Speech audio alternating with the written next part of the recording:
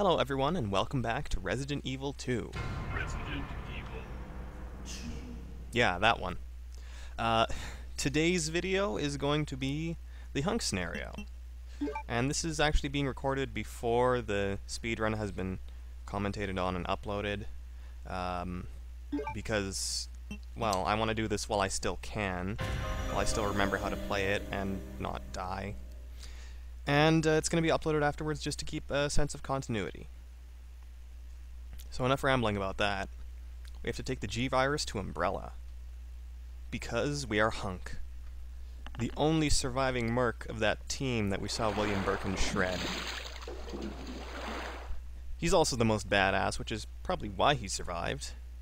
I mean, his gas mask can even filter water. That's pretty hardcore. Yep, you're in a sewer. Alpha team here. Mission accomplished. Roger. We'll rendezvous at the meeting point. They they kind of have the same voice there. That's not really worth pointing out.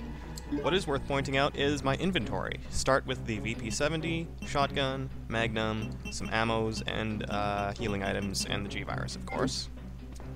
And this is the only stuff we're going to get for the entire scenario, so use it well.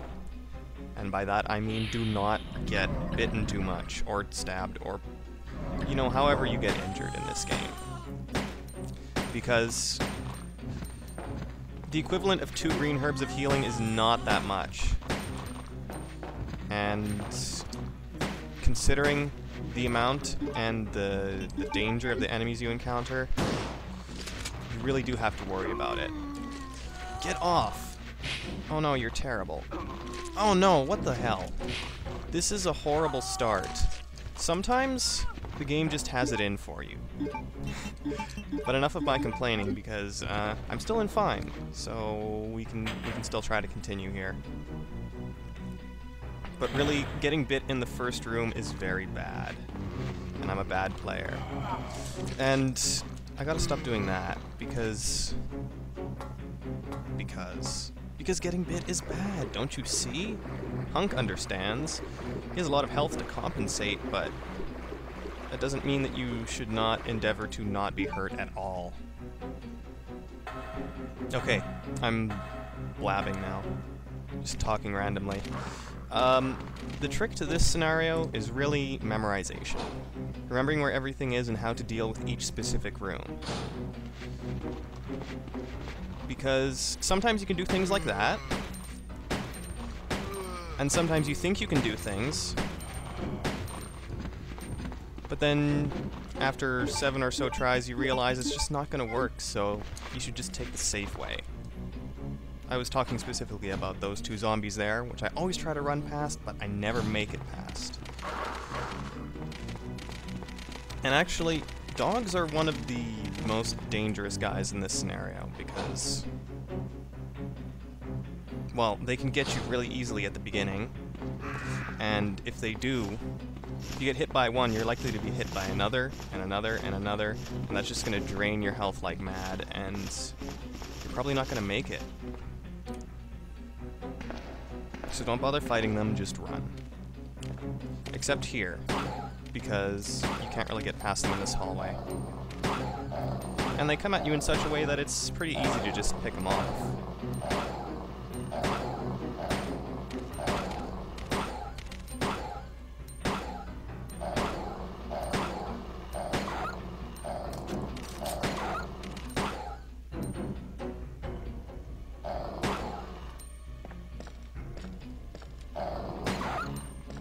Yeah. And, um, I don't know. It's pretty tough, but once you know where everything is, it becomes not impossible, at least.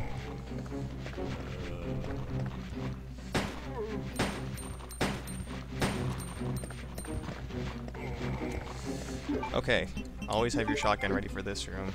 No matter what scenario in you're in, no matter what character you're playing, this room is always a storm.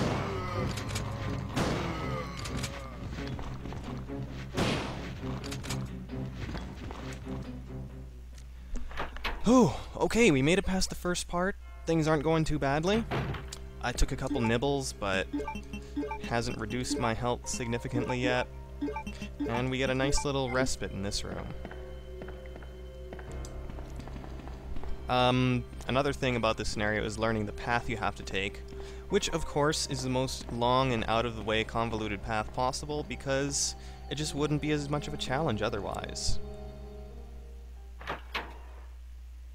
So basically, if you're playing it the first time, you haven't watched these videos, and I'm kind of just...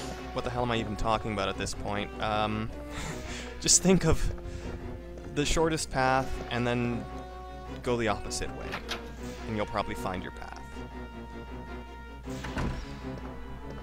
Also, watch out for lickers.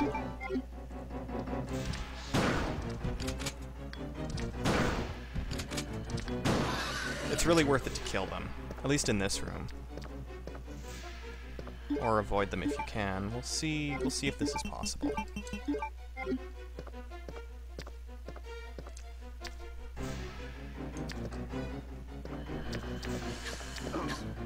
Uh, uh, okay. That's not too bad. I mean, I'm still in fine, right? Okay, this is where things start to get kind of ridiculous and tricky. Because we have plants to deal with. And with no suitable weapons to deal with the plants, i they're probably one of the biggest obstacles. So the idea is, just plink them. Get out your handgun and shoot, shoot, shoot, shoot, shoot, shoot, shoot. Never let go of the fire button until you have to reload. Or if you have to run. Because they do some pretty good damage. That's strange. All the other times I've played, it's taken more than a more than a mag to kill them, but this time, not so. Okay, I'm in a bad spot here. I'm probably gonna get hit by a spit.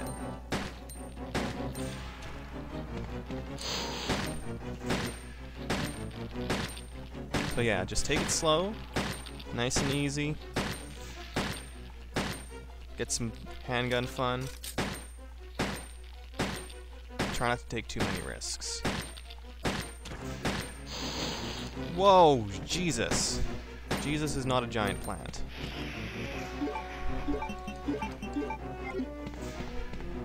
So you may have thought in the beginning that you're given lots and lots of ammunition. Really, it's just enough to get through here with, with a little bit of extra. Okay, this is another spot where being prepared is of the utmost importance. Poison plants.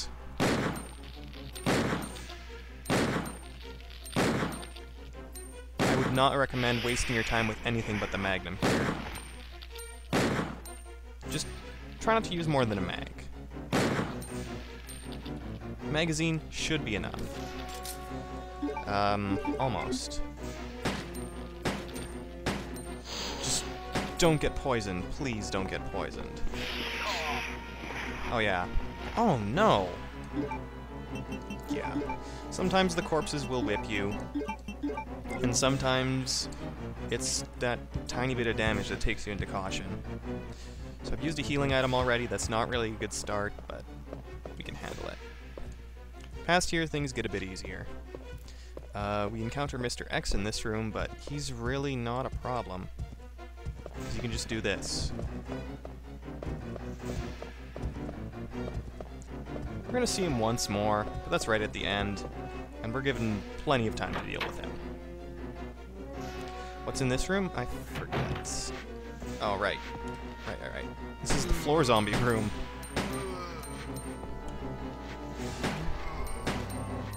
Avoid getting nibbled.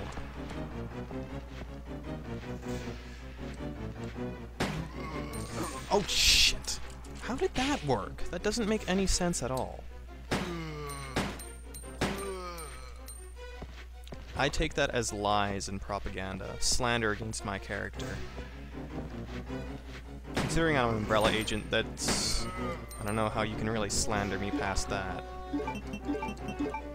Okay. So we should be able to avoid shooting that one, thankfully. But there we go. Another thing that um, you'll think to try, and only realize after a couple of go-throughs that it's just not going to work. Okay. This room, if you get lucky, you can get through here without any damage, but don't bother trying to fight them. It's too much of an enclosed space to hunt lickers. Besides, if you do it right, then you won't get your head chopped off. More plants to deal with, not a big deal in here. Unless you are silly and try to get close to them, which I, I admittedly did the first couple of times. And uh, actually died in here. Seems kind of silly looking at it now. You also probably want to readjust your aim every now and then, like I'm doing, just to avoid wasting bullets.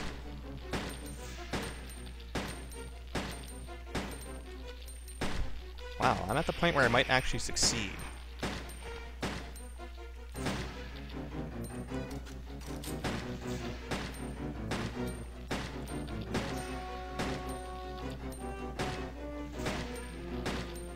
Remember kids, it's L1 to readjust your aim. Okay, that's both of them. Please don't whip me. Ha! Missed. Now you. You're gonna be all whipsy, aren't you? Well, oh! Oh! Couldn't touch Hunk, because he is too much of a hunk. So yeah, see, we're already kind of low on the ammos.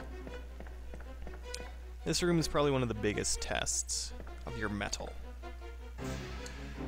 Uh, be prepared for it, that's all I can say. My suggestion is to run forward immediately. There's no way you can really avoid getting bitten in here, but you can minimize the amount of bites, uh, kind of, and just get out of here as quick as possible. Once you get past that, it's really not a problem.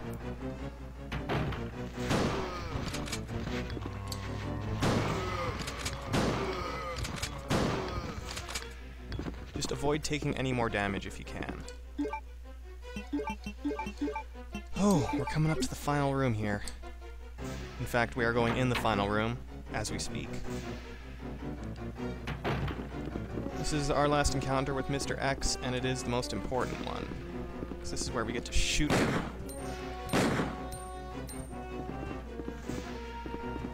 And I'm a total coward, so I'm not going to risk anything. Just wait. Please don't punch me, I'm sorry. No, I'm not sorry. I wouldn't even bother lying to him. He's some kind of freak mutant anyway. There we go. Um, that's pretty much everything you need to do to get through the hunk scenario. It's it's damn hard, but there are more difficult challenges in the game, let's just say.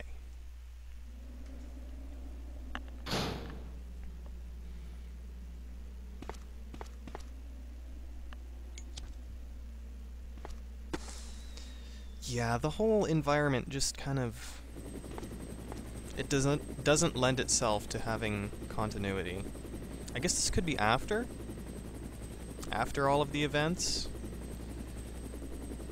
But it makes you wonder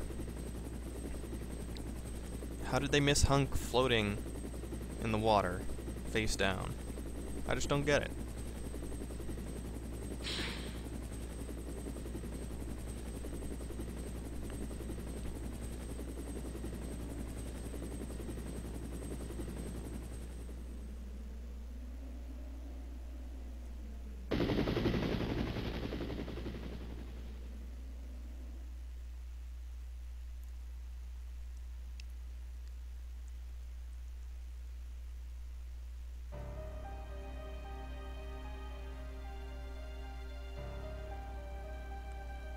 Agent survived and successfully obtained the G-Virus. The virus went into the hands of Umbrella.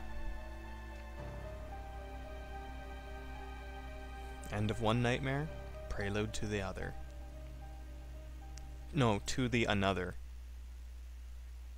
Might have been a typo there, you never know.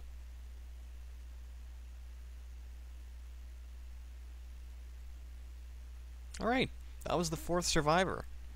I'm surprised I got through it on the first run, and quite happy. See you next time for more Resident Evil 2 fun, and... Oh, it's gonna be real fun next time. Promise you that.